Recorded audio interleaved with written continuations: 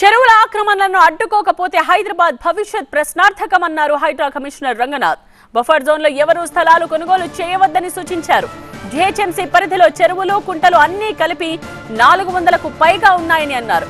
ఇష్టారాజ్యంగా నిర్మాణాలు చేస్తే హైడ్రా చర్యలు తప్పవని హెచ్చరించారు. బఫర్ జోన్ అలాగే ఎఫ్టీఎల్ పరిధిలో నిర్మాణాలు కట్టాలంటే భయపడే స్థితికి తీసుకొస్తామన్నారు.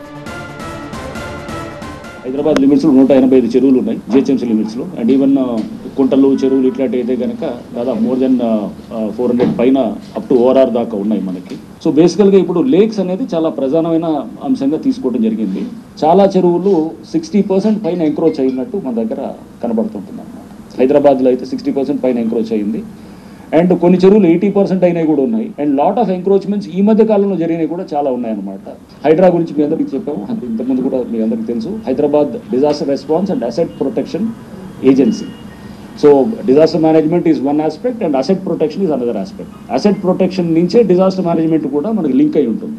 ఆబ్వియస్గా ఎందుకంటే లేక్స్ని మీరు కాపాడలేకపోయినా నాలాస్ని కాపాడలేకపోయినా లీడ్స్ డిజాస్టర్ రైట్ సో ఎన్ని ఇంటర్లింక్డ్ కాన్సెప్ట్స్ ఉన్నాయి?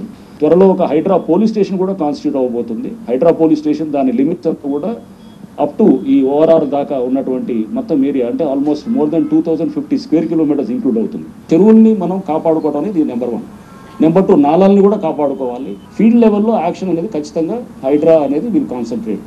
Will try to show results on the ground. You know లీగల్గా చేస్తుంటాము. చేసి డిమాలిషన్ అనేది ఖచ్చితంగా అక్కడ రేపు ఎవరైనా కానీ బఫర్ జోన్ ఆర్ ఏది ఎఫ్టీఎల్లో కట్టాలంటే కనుక భయపడేటటువంటి పరిస్థితి తీసుకొచ్చేటువంటి విధంగా చేస్తాం.